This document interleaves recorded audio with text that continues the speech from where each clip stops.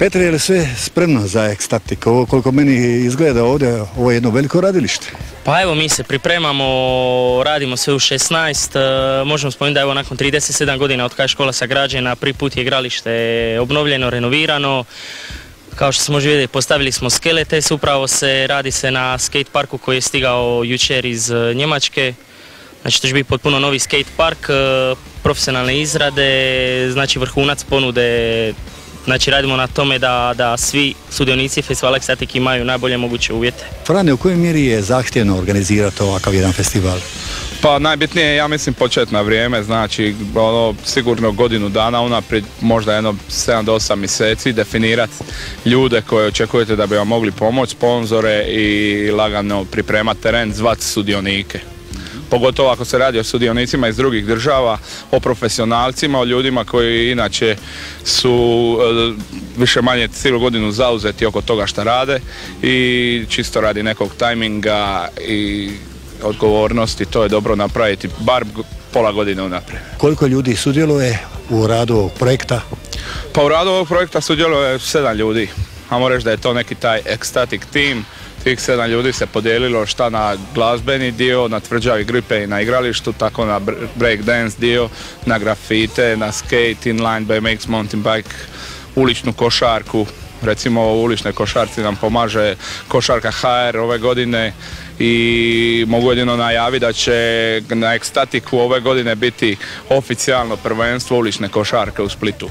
Znači, to će isto biti dio ekstatika koju oni organiziraju preko nas. Mi se nalazimo e, na igralištu osnovne škole Plokite, a upravo na, ovim prostorima će se održavati ono najbitnije, najelementarnije. Koje su to discipline? Da, pa evo ovako moram prije svega reći ovo igralište upravo na kojem sad sjedimo i stojimo je do prije mjesec dana bilo totalno derutnom stanju i uz pomoć grada i na neku našu inicijativu, na inicijativu onoga što radimo smo uspjeli, e, reći, iskamčiti da grad ovo sanira, tako da u ovom trenu mi imamo novo novcato igralište staro sedam dana. Na njemu će se odvijati znači ekstremne discipline tipa skateboarding, eh, inline role, u biti eh, BMX, mountain bike. To je ono što će biti na igralištu. Međutim, na cijeloj školi, evo možemo pogledati za mene, eh, svugdje gdje se skela nalazi još neki su zidovi sa druge strane koje sad trenutno ne vidimo.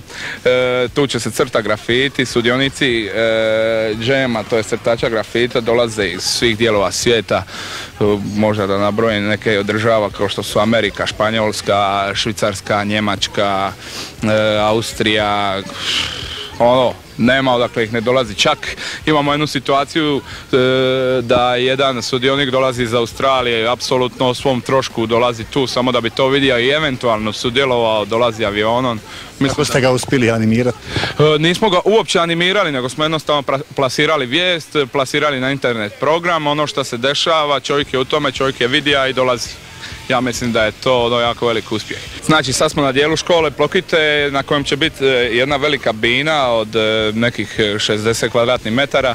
Tu će nastupa breakdanceri. Najveće zvijezde ovog festivala su Pokemon Crew iz Francuske koji su ono uzastopni prvaci svijeta u toj disciplini, tako da mislim svakom lajku koji možda čak nikad to nije ni vidija ovdje doći to vidi, to su ono doslovno vratolomije i jako zanimljivo.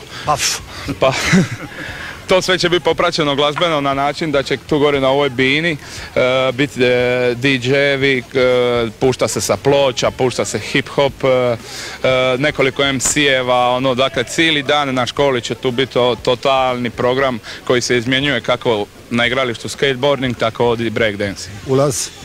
Ulaz na igralište apsolutno besplatan, šta više ljudi dođe, nama draže šta više ljudi nakon ovoga se uvati jedna od kategorija koju smo mi predstavili na ovom festivalu, to je veći uspjeh udruge Festiv.